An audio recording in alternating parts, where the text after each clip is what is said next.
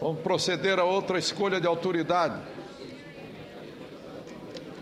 Relator foi o senador Papaléu Paz. O parecer número 599, a mensagem 111 do presidente da República indicando o senhor Eduardo Marcelo de Lima Sales para exercer o cargo de diretor da Agência Nacional de Saúde Suplementar, ANS, na vaga do senhor Fausto Pereira dos Santos.